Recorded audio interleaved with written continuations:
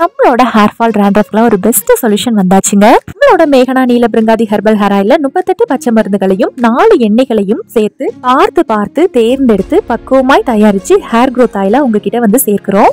இந்த ஹேர் ஆயில அப்படி என்ன இருக்கு அப்படின்னு கேட்கறவங்களுக்கு முப்பத்தெட்டு பச்சை இலைகள் பள்ளி கரிசிலாங்கனி மஞ்சள் கரிசிலாங்கனி மருதாணி இலை வெந்தயம் கருஞ்சீரகம் ஓமம் அமர் துளசி கிருஷ்ண துளசி வேப்பிலை வேப்பிலை செம்பருத்தி வல்லாரை வெட்டி வேர் நீலாம்பரி அப்பப்பா இன்னும் சொல்லிக்கிட்டே போலாம்.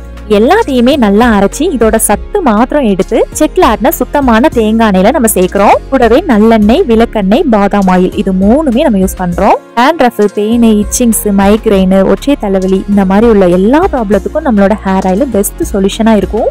ஹேரை அழகா கருமையா நீளமாக முழுக்க முழுக்க ஆர்கானிக் பொருட்களை வச்சு தான் செய்யறோம் இன்னைக்குமே நம்மளோட மேகனா நீல பிருங்காதி ஹெர்பல் ஹேர் ஆயில குவாலிட்டிக்கு காம்ப்ரமைஸே கிடையாதுங்க. பெஸ்ட் நம்பர் ஒன் குவாலிட்டியில தான் நம்ம ப்ரிப்பேர் பண்றோம். குழந்தைங்கள்ல இருந்து பெரியவங்க வரைக்கும் நம்மளோட ஹேர் ஆயில யூஸ் பண்ணலாம். ஹேர் நல்லா திக்கா பிளாக்கா லாங்கா வளரும். பெஸ்டான ஹேர் ஆயில் உங்களுக்கும் வேணும்னா ஸ்கிரீன்ல தெரியற நம்பருக்கு மறக்காம ஆர்டர் பண்ணுங்க.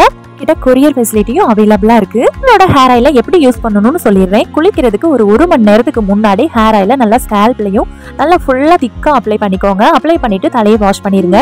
உங்களோட ஹேர் ஆயில் நல்ல வாசனையாவும் இருக்கும். Full and full herbal product தான். ஸ்க்ரீன்ல தெரியற நம்பருக்கு மறக்காம ஆர்டர் பிளேஸ் பண்ணுங்க. உங்களோட எல்லா ஹேர் ப்ராப்ளத்துக்கும் பெஸ்ட் சொல்யூஷனா இருக்கும். ட்ரை பண்ணி பாருங்க. தேங்க்யூ